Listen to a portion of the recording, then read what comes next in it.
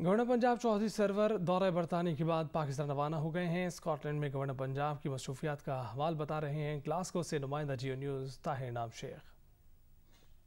Governor Punjab आज बरतानिया से पाकिस्तान रवाना हो गए हैं। रास्ते में वो अस्तंबोल और दुबई में भी मुख्तर क्याम करेंगे। दुबई में वो एक प्रेस कॉन्फ्रेंस से भी खिताब करेंगे। गलास्को से रवानगी से कबल मुमताज़ सियासी व समाजी शख्सियत इमरान मलक ने उनके एजाज में एक असराना दिया चौधरी सरवर ने इस मौका पर बैरून मुल्क मुकीम पाकिस्तानी को ज़बरदस्त खराज तहसीन पेश करते हुए कहा कि ये लोग पाकिस्तान के मुसन हैं और हम इनको असम्बलियों में नशिस्तें देने के अलावा दीगर शुबों में भी ज़्यादा से ज़्यादा सहूलतें देने के लिए कोशिशें कर रहे हैं। ये लोग पाकिस्तान को तीस अरब डॉलर का गैर मशरूत सालाना जर मुबादला बेचते हैं, जबकि आलमी अदारे चंद अरब डॉलर के कर्ज पर भी इंतहाई सख्त शराय आयद करते हैं। चौधरी मोहम्मद सरवर ने बताया कि उन्होंने अपने दौरे के दौरान ब्रिटिश और स्कॉटिश पार्लियामेंट के वजरा और मम्बरान पार्लियामेंट से मुलाकातें की और दोनों ममालक के दरमियान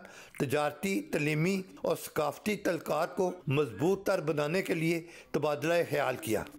पहले जो भी आते थे, वो अंग्रेज़ों के साथ तस्वीरें बनाकर अपनी इमेज बिल्ड कर देते थे। इन्होंने डिटेल उनसे मीटिंग की और डिटेल इंफॉर्मेशन प्रोवाइड की पाकिस्तान के बारे में और जिन लोगों से मुलाकात करी की वो मैटर करते थे लोग। गवर्नर पंजाब चौधरी मोहम्मद सरवर ने बैरून मुल्क मुकीम पाकिस्तानियों से कहा है कि वो ज़्यादा से ज़्यादा मुकामी सियासत में हिस्सा ले। इस तरीके से वो अपने आबाई मुल्क और रहायशी मुल्क दोनों की बेहतर तौर पर खिदमत कर सकते हैं। कैमरा मैन नदीम अजबर के साथ Tahir Inam Sheikh, Geo news Glasgow Scotland.